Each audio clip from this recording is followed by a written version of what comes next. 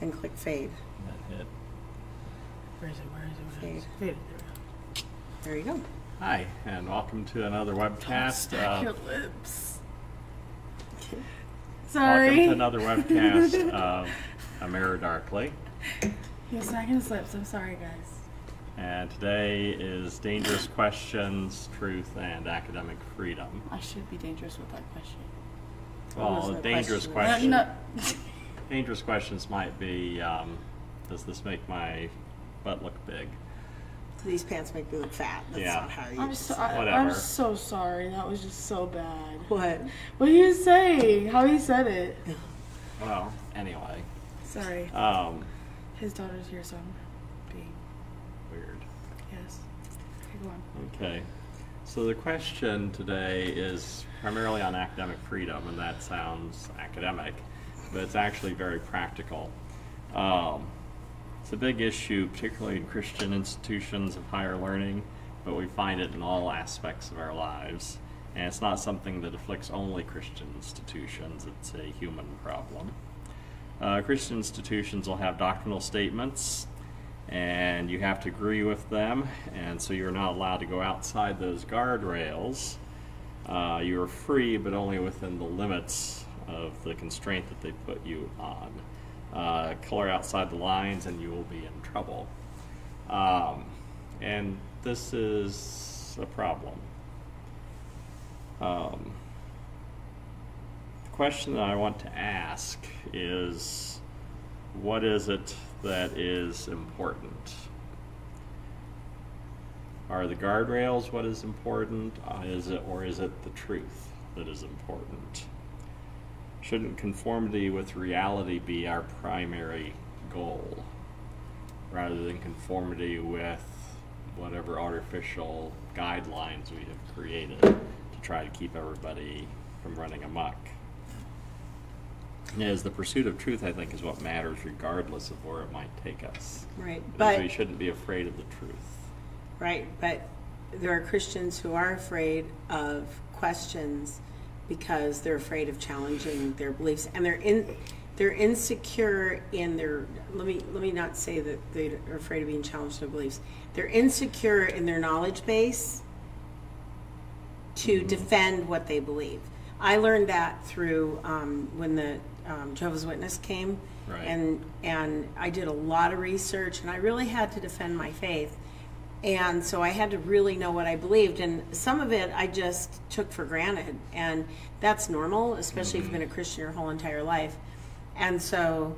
Um, having to share what I believe with her and to refute her claims about Christ and about no heavenly hope and things like that and and everything. I had to really dig down and find why I believe what I believe. So um, that was a huge challenge, but it was good for me because, first of all, it gave me confidence in what I believe. Just like I'm leaning over for my coffee, I left it over here.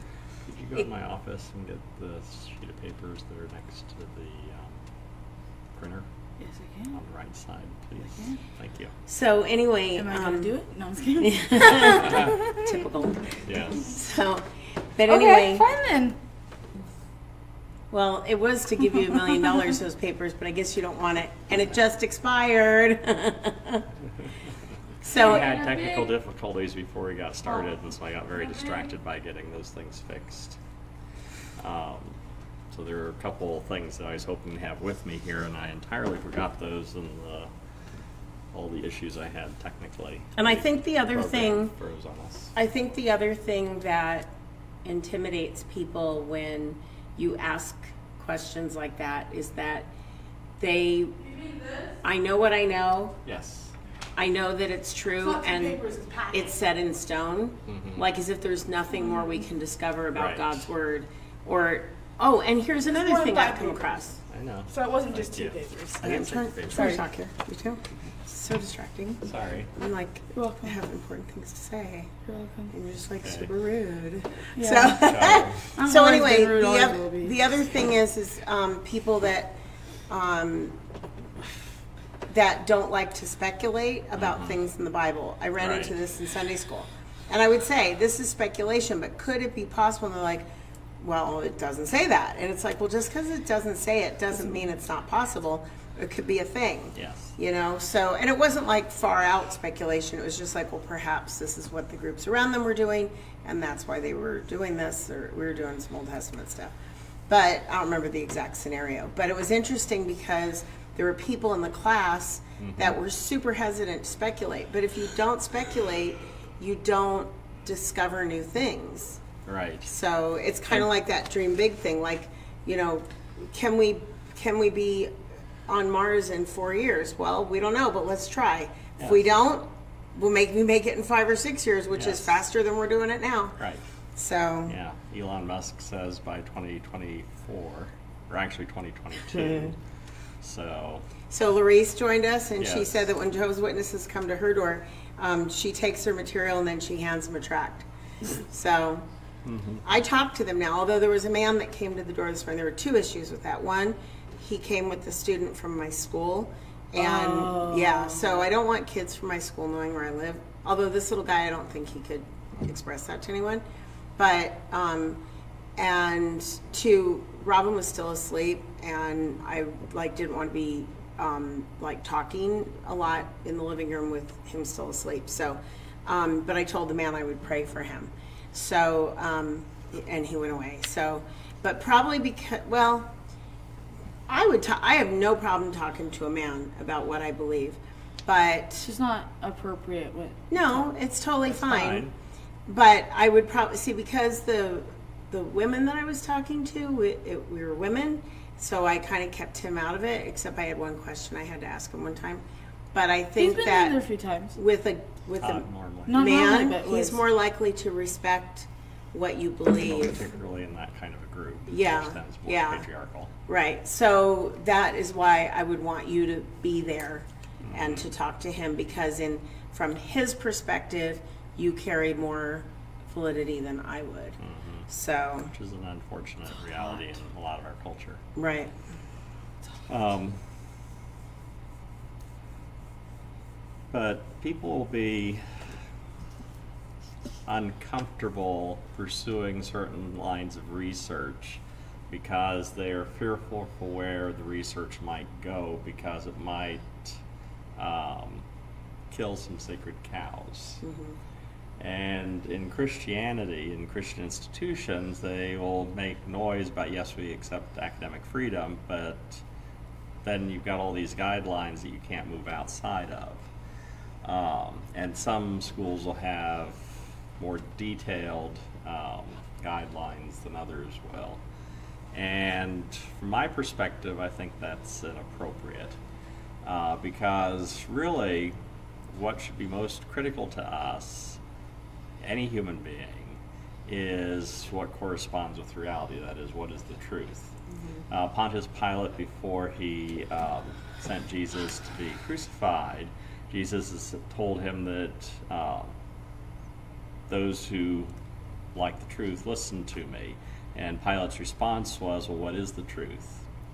Uh, elsewhere in John's Gospel, back in chapter 8, I think it was, he said that uh, you will know the truth, and the truth will set you free.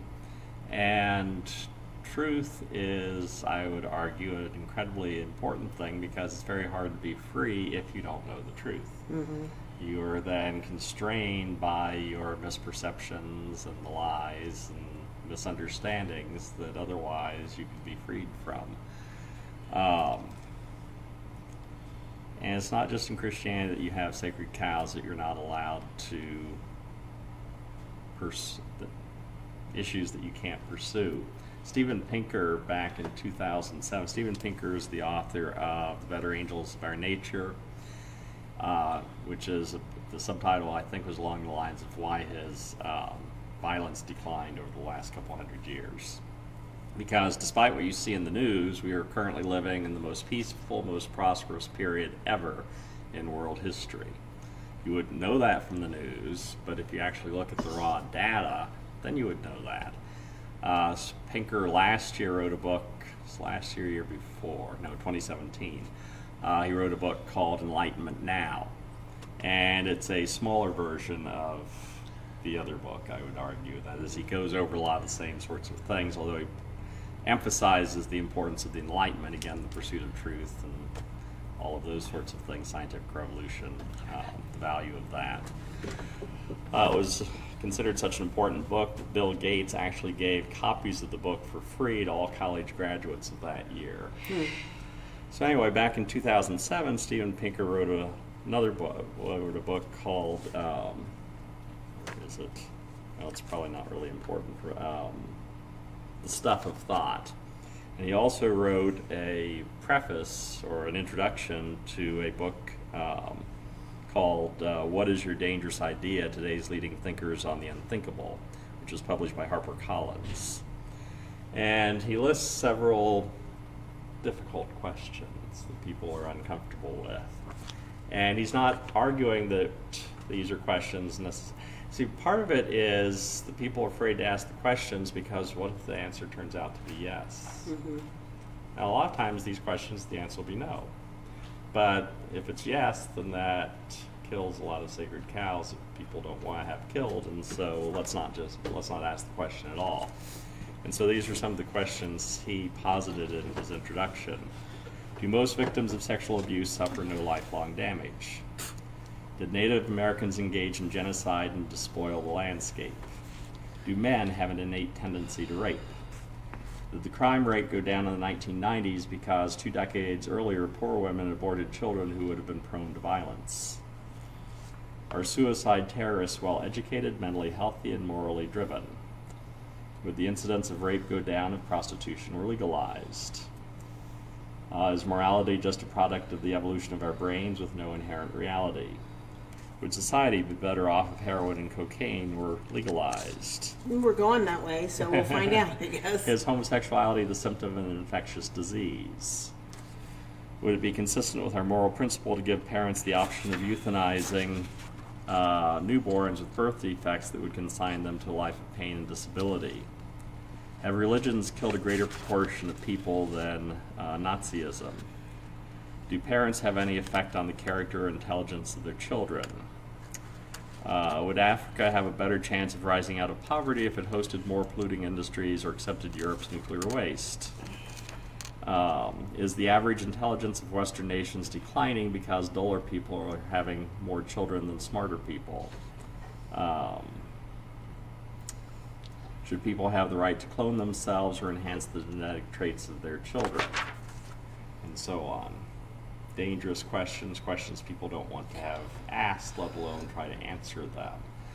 Uh, the pursuit of truth, though, should be the thing that is most important to us, regardless of where it happens to take us. Well, some questions are politically charged, so Well, you that's can't. Well, that's why you can't ask. And again, uh, some Ask questions are religiously charged in Christian institutions. Some uh, questions are politically charged. In both cases, the politics or the religion takes precedence over truth. And I would argue that that's not a healthy place to be.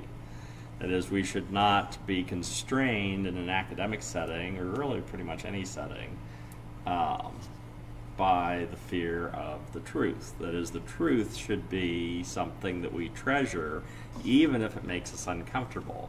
In the movie The Matrix, which you didn't particularly like because of the one scene, Right, it was a bad time for me. it was a bad time for you, but Wait, it's what happened? don't worry about it. Um, but anyway, the question that Neo is uh, Yeah. asked near the beginning of the film is will he take the red pill or the blue pill? If he takes the blue pill, he goes back to his comfortable life living in an illusion. But it's a comfortable illusion. Or he could take the red pill and find out where the truth actually lies. And the truth is very painful, very uncomfortable, and a horrible thing. A lot of people don't like the truth as So the pants really do make your butt look fat. Yes. There's a title for a book. yes, the pants surely. Those those pants really do make your butt look flat, and other truths you're afraid to find out. there you go. There's your bestseller, hon. Okay. Yeah. but the truth is very painful, and this is not a new concept. Um, let's see if I can bring it up here. Um, Stephen Crane wrote, um, besides writing The Red Badge of Courage, he also wrote um, poetry, and um, one of his, a couple of his poems deal with the issue of what is truth. Put your coffee over there on the shelf. Yes, I should. You have two Um, hands. Coffee is more important than truth for Robin. Coffee is truth. Water is truth. It keeps you alive. I had a nice Water exists conversation. so you can make coffee. I had a nice conversation with the Dunkin' Donuts people today about coffee. Yeah.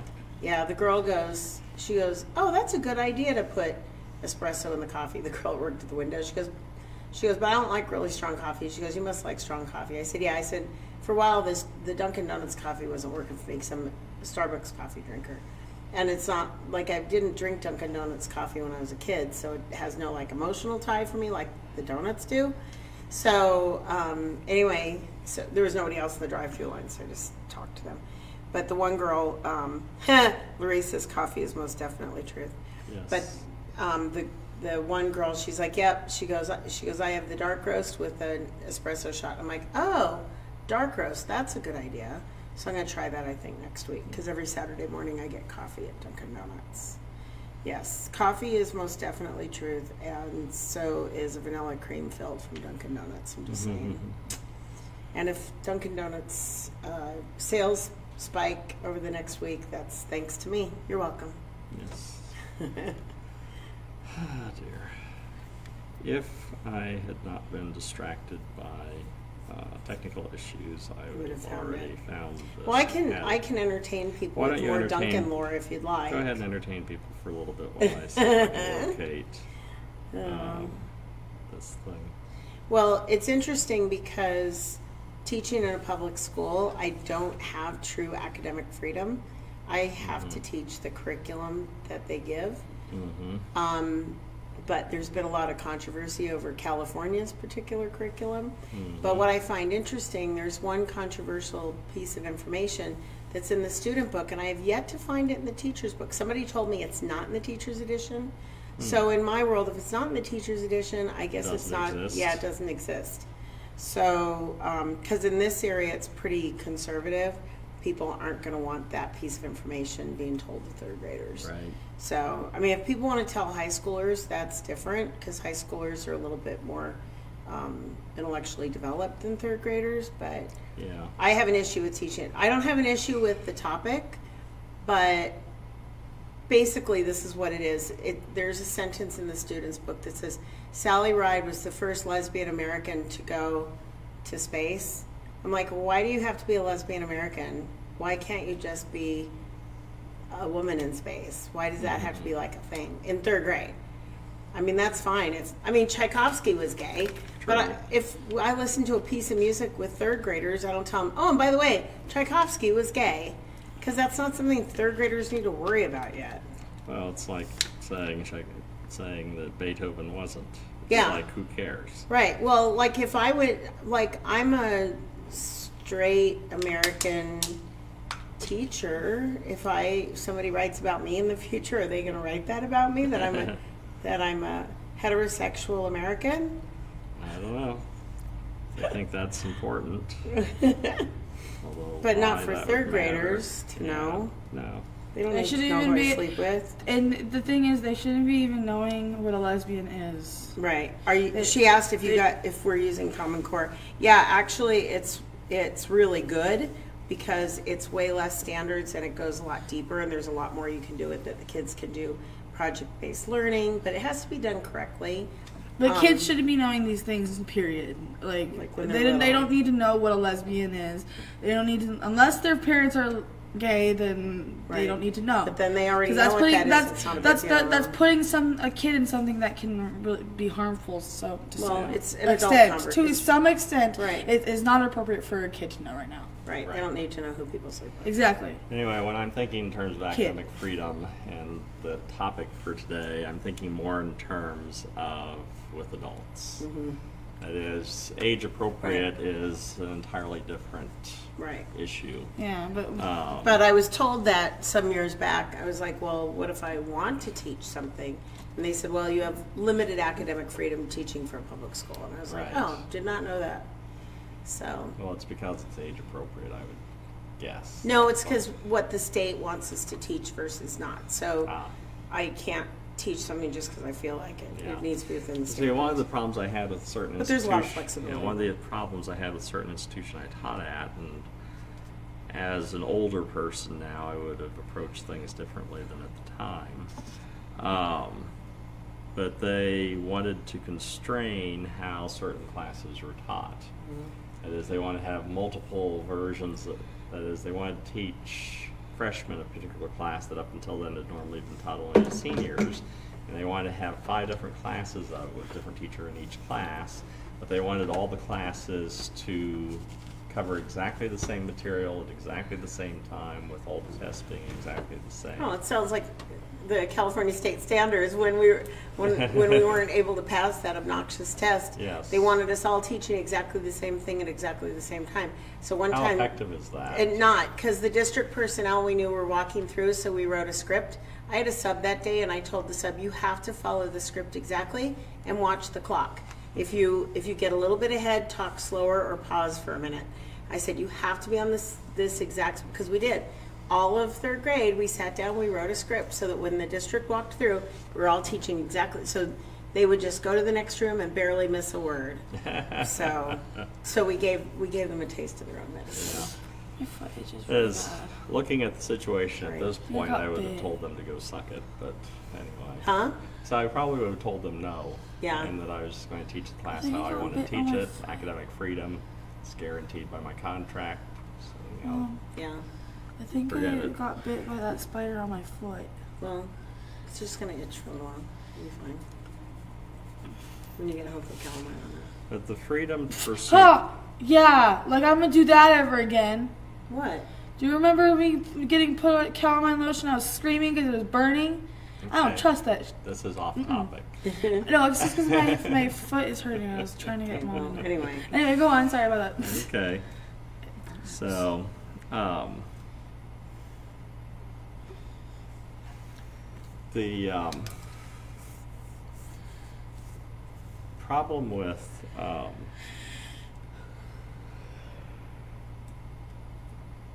the situation that I had at that particular institution in general uh, was pretty much an entire lack of any kind of academic freedom whatsoever.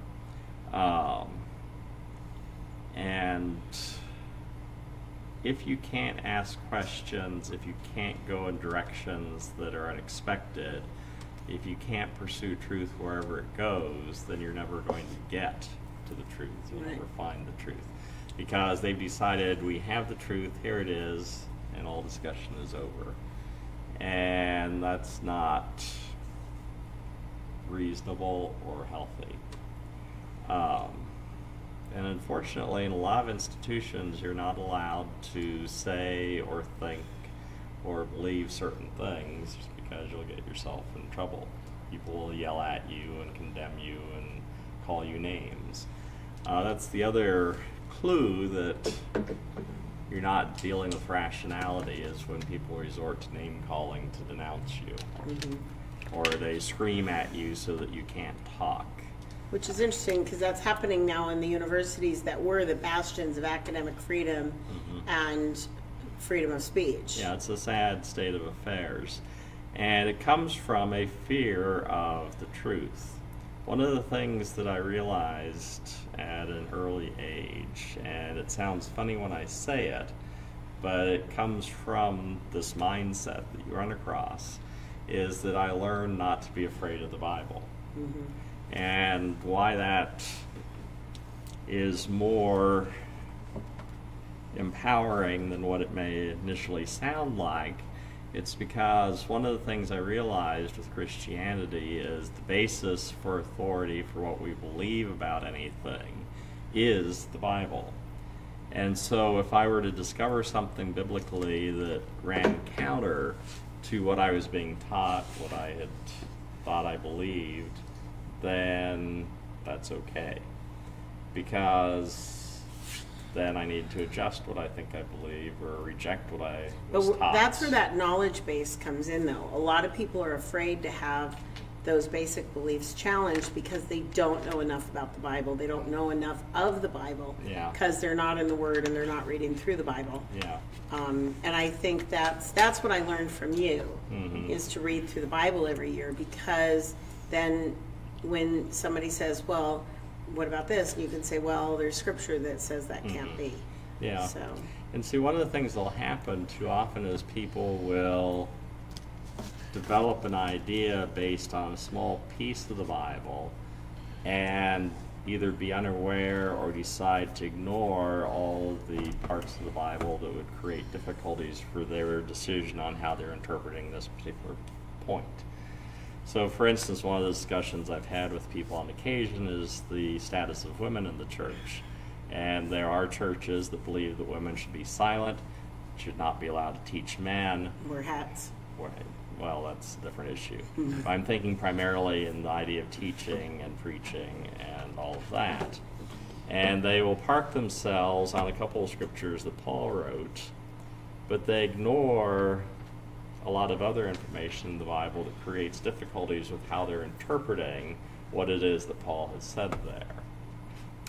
That is, as you go through the biblical materials, besides the part in Galatians where Paul says that in Christ there's neither male nor female, uh, you also have at Pentecost uh, the quotation from the book of Joel that uh, both men and women, young men, young women, will prophesy. Plus, you have examples in the New Testament and the Old Testament of women prophesying. Then you also have examples in Paul's letter to the church in Rome in chapter 16. You have a female deacon by the name of Phoebe. You have a female apostle by the name of Junia. Um, and you have examples of women teaching men and being in positions of authority throughout the Bible. So, whatever it is that Paul has said in those passages that people like to park themselves on, if you insist on your point of view, then you have to ignore all these other parts of the scripture. And so, I would suggest that rather than assume we will just pretend these other things aren't existing, perhaps we need to reinterpret our understanding of what we think this passage is saying. Because it's very easy to misunderstand things. Uh, I'll hear people make stupid statements along the lines of, uh, you know, science keeps coming up with new ideas, but the Bible is always the same. Well, yes, the Bible is always the same, and the universe is always the same. How we interpret either of them is likely to change as we get more information. So, for instance, for a long time, people thought that the Earth was the center of the universe or that the Earth was flat. Uh, we've learned over time that that is not the case, that the Earth is spherical and the Earth revolves on its axis and goes around the sun annually. You have places in the Bible that talk about the sun rising and the sun setting. Are we going to insist that those passages need to be interpreted that the earth is actually standing still and the sun is going around us? That would be ludicrous and stupid. I mean, even today, you look up the newspaper, what time does the sun rise today? We know that it's the earth that's rotating on its axis, but that's We the common way right. of describing what it is we're seeing. Um, trying to remember the name of the philosopher, uh, Wittgenstein, I think his name was. One day, uh, one of his students came to him and said, Isn't it silly how people used to think that the earth went around the sun? And he says, Well, yes, but when you look at the sun coming up, that's kind of the way it looks. You're not stupid for initially thinking that that's what that it the is. sun goes around the earth. Or the said sun goes. ar- backwards. Yeah, the sun goes I was the like, earth. okay, was this a science fiction thing that you No, were no, talking no. about? No, just misspeaking, which is easy to do. Yes. Um, when I was in co- well, um, one of the popular notions in modern Christianity is creationism, six-day creationism. Mm-hmm. Six-day creationism is actually a relatively recent innovation in evangelical Christianity. But, I but remember- to listen to them talk, you would think that it came down with Moses on the third tablet. Because I remember when it first impacted the church I was attending Hmm. And became something that people started talking about. Prior to that, we talked about theistic evolution or day age theories or things like that. And suddenly in the late 60s, early 70s, creationism, looking for Noah's Ark, all these Hmm. things started to become a big deal. We have a set of books in our library here, which I had intended to have here with me, but oh well, I forgot to bring them. They are in red bindings. They originally published um, in 19, well, between 1910 and 1915, and they were called The Fundamentals, A Testimony to the Truth. Um, and they were published by uh, what ultimately became Biola University. Uh, Bible Institute of Los Angeles is what it was called at the time. Which is where they got the word Biola from. Yes. Um, and the word fundamentalism, as we use it today, is derived from the title of those books. Now, what's interesting, and it was these came out of the beginnings of the fundamentalist modernist controversy, which riled Christianity back in the 1920s. Um, they talked about what were fundamental ideas within Christianity. And what's interesting is in those books, which would be denounced by some fundamentalists today, they argued that, you know, theistic evolution, the earth being very old, these are okay things. That is, they're not incompatible with the biblical materials. Um, by the time I got to college in the uh, mid 70s, creationism was dominant, and that's what I was taught while I attended uh, my undergraduate institution. And over time, I became very disillusioned with it, primarily because I found the biblical materials, and because I can read Hebrew, uh, did not match or fit with that point of view. Uh, I'm probably one of the few people that was led astray, as some would call it, by the Bible itself in rejecting six day creationism. But one of the textbooks that I had when I was at that college uh, in the biology class uh, is an appalling piece of work because it makes statements that are fundamentally not true. And so either the author of the book was consciously lying or the author of the book was incompetent, either of which is a shocking idea. Always go um, with the incompetence theory yeah, first. incompetence is usually the better theory to go with. That is, people usually are not malicious. And so incompetence is the likely explanation. So, for instance, one of the things that stands out to me in that book was that they used uh, the second, um, second law of thermodynamics as uh, proof that evolution couldn't happen because second law of thermodynamics talks about how everything becomes more and more disordered over time and more you chaos. I remember learning that, like the the birds on an island are less and less colorful because every generation because of that. Now, the problem with the concept, though, is the second law of thermodynamics is something that is for a closed system. Mm-hmm. That is, if you have a pot of water on your stove and you turn it on, the water is boiling. When you turn it off, it stops boiling and eventually returns to room temperature. Is, that's what the second law of thermodynamics does for you. However, as long as you keep put, injecting energy into it, it will continue to fight against the second law of thermodynamics. Biological systems, by their nature, are fighting against the second law of thermodynamics. That is, when you were a zygote, you were far less complicated than you are now. Mm-hmm. And yet, over time, through natural processes, you became more and more complex until you're a fairly complicated being at this point as an adult. Uh, biology is is runs counter or fights against that second law by its very nature. As long as you're injecting energy in the system, that is, if you stop eating, stop drinking water, stop breathing, you'll become far less complex. but as long as you continue to do that, you become more complex. Um, So I'm not fat, I'm just very complex. exactly. um, Probably not the best answer, but you know, I'm joking. um, Uh, So, anyway, um, dangerous ideas are something that need to be looked into, and we should not be afraid of them. That is, people can ask, you know, people say there's no such thing as stupid questions. These people have never taught a college class freshman. or college freshman class. cl- college class. Um, people can ask stupid questions, but that does not mean that you tell them to shut up and go away. Instead, you react to the question and explain why the question is that the answer is no or the question is wrong-headed. Uh, you don't have to scream and yell and shout names at a person in order to shut them down. Um, as an undergraduate, I did a two or uh, two-part magazine article and a hundred-page, um, I guess you call it, um, research paper on what's called British Israelism.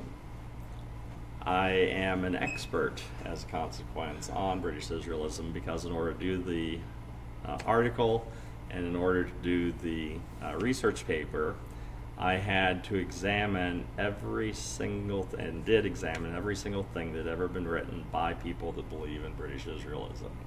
As I read, I went to first-hand source materials for everything. And the best way of summarizing British Israelism is that it's crackpot, as it is nonsense. And it's nonsense because of its fundamental flaw. That is, the idea of British Israelism is that the ten lost tribes of Israel became British people. The problem with the theory, though, is there's no such thing as ten lost tribes. That has been a popular notion, a lot of uh, Jewish literature from the Middle Ages, and it's a popular notion in people's minds. But if you actually go back and read the biblical materials, you'll discover that there's never were ten lost tribes. They never Well, disappeared. and then And so- why British? Why not Asian? why not African? Why not South American? Well, then we'd have to go into details of the British Israel point of view. Okay. Uh, let's put it this way the British Israel point of view is a popular theory nowadays with neo Nazis and Islamic extremists. That is, I have discovered British Israel stuff both on neo Nazi websites as well as on Islamic extremist jihadist uh, websites Interesting. um, because the viewpoint is fundamentally anti Semitic. And so it's going to appeal to both of those groups quite heavily. Uh, the idea of British Israelism is the white Anglo Saxon people are the actual chosen people of God and the actual Jewish people. And so the Jew- people that claim to be Jewish are really not Jewish, and so they can be persecuted and hunted down and so on, which makes neo Nazis and Islamic extremists very happy. Uh, it's a horrible, horrible point of view.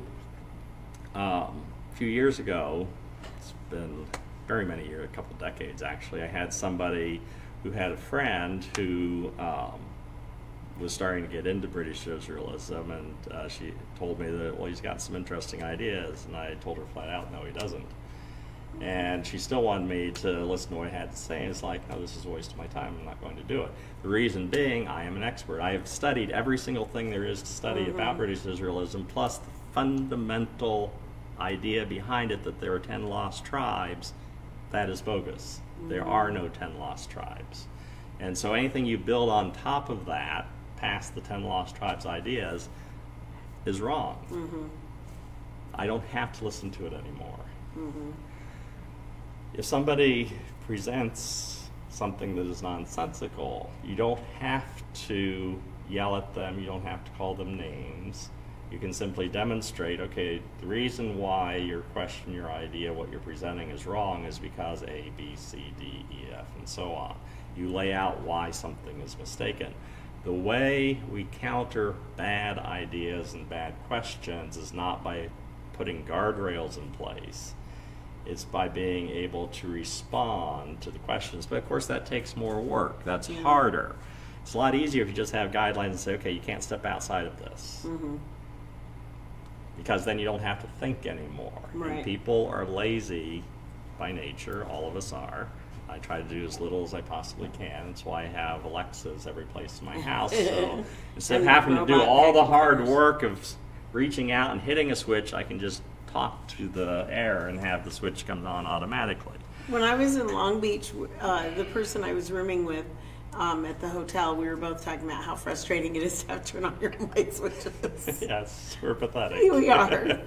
but this this carries over into academic settings. That is, well, why should we just allow people to willy nilly have any kind of questions or do anything at all? We'll just say, okay, these are the guidelines, these are speech codes, these are things we have to do, abide by them, and then But it comes back to that God wants people to be free more than he wants them to be good. exactly. And the basic people want people to be good. Right. And one of the basic is part of premises, the especially of fundamentalist Christianity, is to make people be good. Yeah. Well, that's human And- nature. Right. And fundamentalism really in any in any version, whether it's Christianity, whether it's Islam, anything like that, just wants people to be good and follow the rules. Well, it's not just within religion, though. Right. It is politically and all mm-hmm. sorts of areas. We want people to behave, mm-hmm. and so oh, we will. behave. And so, no, we set up more and more rules to try to make people behave That's and to Austin be good. I know. You want people to be good. And what's weird, despite what Paul says, people imagine that that's what God is all about, is wanting people to be good. No, mm-hmm. That's a consequence of our disobedience in the Garden of Eden. Adam and Eve ate from the tree of the knowledge of what? Good and evil. And that has become all that we care about and all we focus on all the time. And that was the last thing that God ever wanted us to become aware of because it's a horrible thing. Mm-hmm. It leads to the evil of government, necessary evil, but still, mm-hmm. and all the rules and regulations that we keep piling up and piling up and piling up in the hopes that we'll be able to make people finally be nice to one another. Mm-hmm. And that's not the point of a law. A law is simply a, a measuring stick by which you can punish people. Yeah, that's if all the it rule is for. don't murder, you murder. Now we have a way we can punish you for murdering. Then you have to. It doesn't keep people from murdering. No, it doesn't keep people from murdering, and then you have to define what a murder is. And then you have different kinds of murder, and then you Mm-hmm. Which even happens in the Bible. hate crimes in the law, on and on. right? and on. In the law, there's more and more complicated. You know, if you kill someone accidentally, this is what happens. And that's not murder. If you kill somebody on purpose, this is what happens. And If it's know. accidental, then it's not murder. If it's as a soldier, it's not murder. If it's as a police officer, it's not murder. But if you're mad at your neighbor because he's playing his music too loud and you take an axe to him, suddenly that's Mm-hmm. murder. Go figure. but um, Yeah. But a lot of the fear of academic freedom, of being able to just take, follow the evidence wherever it happens to lead you, ties into our desire to be good. Because we're afraid that the truth is going to make us do something bad. So, for instance, one of the questions I asked was, what if we were to discover that um, homosexuality is caused by a virus? And the fear that people have is that, well, then we would start discriminating against gay people or something. And of course, that's a silly fear because we don't discriminate against people that have colds or the flu, um, I don't think, or asthma or any other Right. illness. although I will argue that when the whole HIV/AIDS thing exploded, Mm-hmm. um, there was that fear, and it was, I think, legitimate because they did not know how it was spreading. Right. And so they, you know, they talked about having like leper colonies and things like that, which is really a way of discriminating against people. Like, oh, you have HIV, you need to go live in this town Mm-hmm. Yeah. and be away Well, from like everybody. what used to happen with people that had leprosy because Right. we didn't know what caused And we didn't it know how to treat it, but it, it's- and so we wanted to keep everybody that had it Right. away from everybody else so that we wouldn't catch it. But if you if you are actively trying not to discriminate against people, but truly trying to find the truth, Mm-hmm. and if you are aware that that is a potential in whatever you know in, in whatever that thing is that you're trying to discover, that you can actually get to the truth and it not backfire. In that Yeah, well, see, the whole problem is, for us as human beings, goes back to the great commandment. That is, love our neighbors as ourselves, or the golden rule to do to others, you'd have them do to you. And the fear of the truth is that we will find something that will hurt people somehow, that will damage them. But if we're motivated by love, then that really shouldn't be something that we would have to worry about because we wouldn't use it for bad reasons. Um, it is preventing people from getting at the truth because you're afraid of what it may lead to is not entirely rational fear. That is, if you want to have some constraint on truth, the constraint is, as human beings, we're supposed to love one another. And so if we actually do that, then the truth, whatever it is, is never going to hurt us. Now, you do, of course, have certain philosophical systems that um, love is not an important aspect of it. Uh, you think in terms of, um, well, some forms of utilitarianism, for instance. That is, if it's useful, then it's useful. If it's not useful, then kill it. And so humans are valuable only as they are functional and useful. And if they are disabled to a certain level or have mental issues to a certain level, then why should we continue to put up with them? They're wasting resources and so on. Now again, asking those kind of questions is not the bad is not a bad problem. It's how you would choose to answer the question that would become a problem or not. And so do you decide that human beings are valuable regardless of how useful they are or not? As babies are not particularly useful. That is, I have yet to have one that'll mow the grass for me. My children would not mow the grass. They didn't change their own diapers. They couldn't do the dishes. They wouldn't vacuum. They were completely useless, and all they did is want things from me. But I think that's the basic belief system behind um, the abortion debate and behind, um, you know, uh, euthanasia and things like that. Is how useful is this person?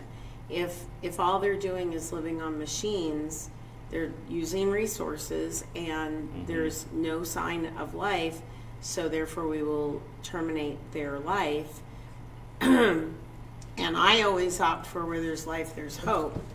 And and I've always said, and now it's out there in public view and it's recorded, so you can play it back.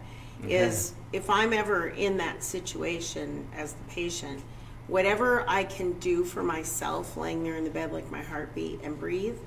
If mm-hmm. I'm able to do those things, then continue the things that I would have to get up to go get for myself, like hydration and nourishment. Mm-hmm. But so if I'm if my heart is beating and I'm breathing and and don't cut off the nourishment and the mm-hmm. hydration because then I feel like what if that person is inside there and they've had people like wake up from situations like that and they knew what was going on around them and like I think about that Terri Schiavo who they starved and you know, dehydrated her till she died. And it's like, what if she knew what was going on? That would be horrible to be trapped inside your body, trying to tell people, don't kill me, I'm here. But um, to me, that's just because you don't know what's going on inside their head.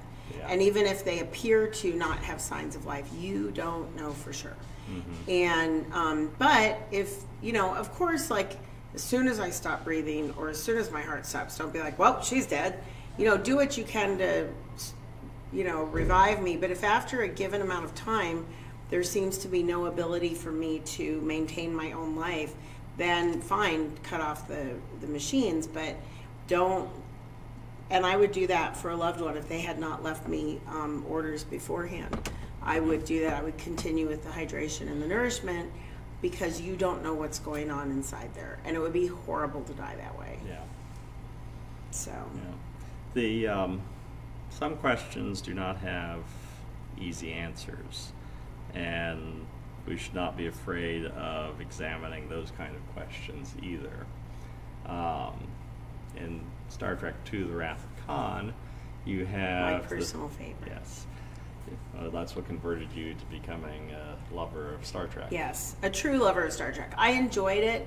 My dad used to watch it and I would watch it with him, but I didn't really like get it. But then once I saw Wrath of Khan, I was like totally on board. Not just because of Ricardo Mont- Montalban. Only because of Ricardo Montalban going, I am and the shirt came up. and for an old guy, that was a nice chest. Yeah. Um, but one of the questions there in the story was the needs of the many outweighing the needs of the few or the one. And we're the reverse of that.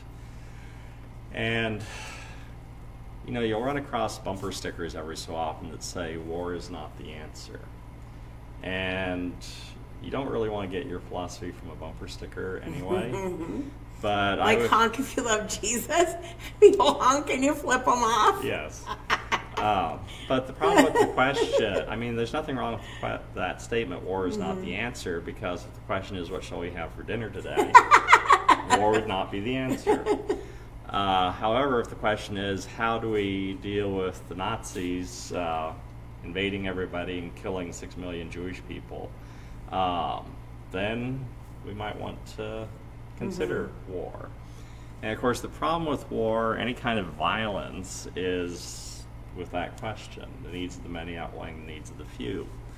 Um, Also a because, Star Trek thing. Yeah, because war is not ideal by any means. It is not a good way of solving problems. It'd be nice if there was a better way. As pacifism is a very attractive point of view, but pacifism tends not to work against Nazis Right. which is the problem, or Imperial Japan either. Um, any kind of totalitarian regime. That is, um, if you had somebody like Martin Luther King Jr. or uh, Mahatma Gandhi going up against the Nazis, uh, doing the things that they both did to uh, get the Civil Rights Act passed in the U.S. or to get uh, India free from British rule, in neither case would that have been the outcome if they had been doing those sorts of activities in a Nazi Germany situation. Because all the Nazis would have done is arrest them and execute them. They would, it would not have been an effective way of changing anything. Um, but war, by its nature, you do have people that will die that are innocent. Mm-hmm. That is, you'll have people that will suffer. Bad things will happen to a lot of people that would not happen if there wasn't a war, and a lot of bad things will happen to a lot of people that there's no reason that they should have to endure those awful things. Mm-hmm. And so that's why it becomes a difficult issue. Uh, Christianity, over the years, you've got two points of view regarding war. You have the pacifists and you have the just war theorists. And who is correct? And they argue with each other. Uh, But I don't think Dietrich that. Bonhoeffer uh, was on the pacifist side of things until he saw what was going on with Nazi Germany, and he decided, sort of like um, what's his name, um, Emo Phillips, with his dilemma about getting a bicycle. And he prayed and prayed and prayed that God would give him a bicycle, and he was getting no bicycle, and he realized that's not the way God works. and so he went and stole the bicycle and asked God for forgiveness. right. And that's essentially what Bonhoeffer ends up doing. That is, he's really opposed the concept of involving himself in violence, involving himself in war, but he sees no other way to solve the problem of Adolf Hitler. And so he mm-hmm. involves himself in a plot to assassinate Hitler, which unfortunately did not work, and he ended up being executed as a consequence of that mm-hmm. about two weeks before the war was over. Mm-hmm. Uh, but his thought was, I'll ask for forgiveness then, because he just could see no other way out. But see, peaceful alternatives should always be chosen before war. But if you have no choice, then you go to war. Yeah, And ideally that should be the way. Right. is. I don't think taking a stand on one side or the other and saying this is immutable, this is the way it is, this is the only way to do it on either side, because life doesn't work that way. Mm-hmm. Yeah. Life is full of gray areas. Yeah, and see, World War II is useful in throwing out into this kind of discussion because for most people it's fairly obvious that Nazism was a problem that had to be solved. And so the question is was there any other solution possible for the menace, menace of Nazi Germany and Imperial Japan. People tend to forget Imperial Japan. Imperial Japan was just as bad, just as vicious. For that matter, the communists were not uh, nice either. One of the things that people forget is the reason World War II started was not just because of Nazi Germany. Russia was equally responsible for the beginning of World War II. World War II began with the invasion of Poland. And it was the agreement that the Germans and the Russians made that started that. That is, the Germans invaded from You're gonna poke me with that thumb and you're gonna be super sorry. from the one side and the Russians invaded from the other side at the same time. That is, Germany and Russia were both invading. He's gonna get Poland. smacked in five seconds if he keeps on doing that. Uh, it was only after Germany sorry. screwed Russia that Russia then begged for help and became an ally during the course of World War II. But Russia is hardly an innocent in what happened there. And of course, Stalin killed far more people than what Hitler could imagine killing. Um, in any case, um, there is much evil in the world, and how to deal with it becomes an issue. But it needs to be on a case by case basis. It's a case by case, and see, this is one of the things that people, again, people like guide rails. They want to have, okay, when faced with circumstance B, this is what you do. This is what people want. That is, if you give a sermon and say, okay, these are the things that you have to do in order to have a good and peaceful good and peaceful life, people will eat that up. They will love that. Unfortunately, it's all nonsense because life doesn't work that way. Life is very messy, life is very difficult, and you do not have really good guidelines at all beyond Paul, Jesus, the rabbis all agree that the law is summarized by the one commandment love your neighbor as yourself. And Paul says the reason why this is your primary guideline, if you want to call it a guideline, is because love does no harm to its neighbor. If you love someone, you don't murder them. If you love someone, you don't steal from them, and so on. And so that's all you have to think about is what is the loving thing to do, which is what would have been the way the world worked prior to Adam and Eve making the poor choice to make good and evil the guideline for everything mm-hmm. and the focus of everything. Love was much better thing. Oh, it's five o'clock. Yes. First of all, I want to say that we will not be webcasting next week because it's Memorial Day weekend. Yes. We will be at Knott's Berry Farm, so we will not be doing Yes. webcast from there. We'll be with and Daryl yes, with our friend Daryl. from So Nevada. and um, so, but we will be back the following week. Did you look for the topic? Uh, the next topic is free speech. Ah, free speech. Wow, hot topics. Okay, so in two weeks we'll be back with free speech. So, um, A Mirror Darkly, Unbridled Inquiry is brought to you by Quartz Hill School of Theology and Quartz Hill Community Church. If you would like to take um, some college level classes in theology and related subjects, um, it's all right there at theology.edu. He Um, also he also uh, can teach Hebrew. Yes, well, I'm getting to that. Oh. So the classes are online, they're free. If you want credit for them, there is a nominal fee.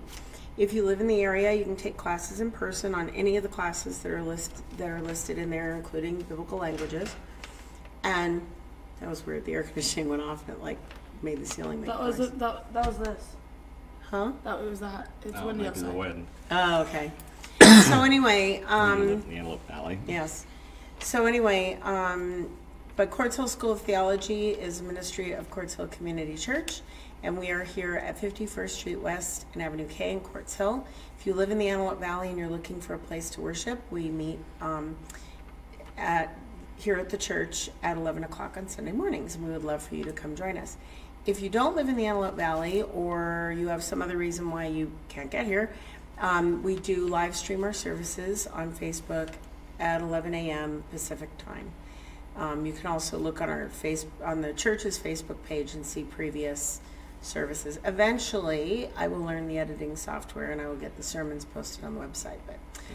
that takes a back seat to the millions of other things I've been doing, like taking care of my been- mother and You know, I've also gotten behind on putting uh, Mirror Darkly things up on our YouTube channel. ah, okay. So, So they're I- all on the Facebook page, but they haven't gotten Yes. over there yet. Okay, you need to stop. You're you're going to dangerous. He won't. He won't hit you. I've only been clobbered once in the 36 years, well, almost 40 years we've been together, and I just hit him back. So, Yeah, but he generally won't hit you.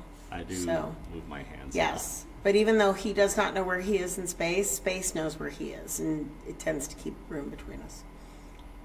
So anyway, um, so uh, that's our commercial. So we'll see you in two weeks, and enjoy your Labor Day. Bye, guys.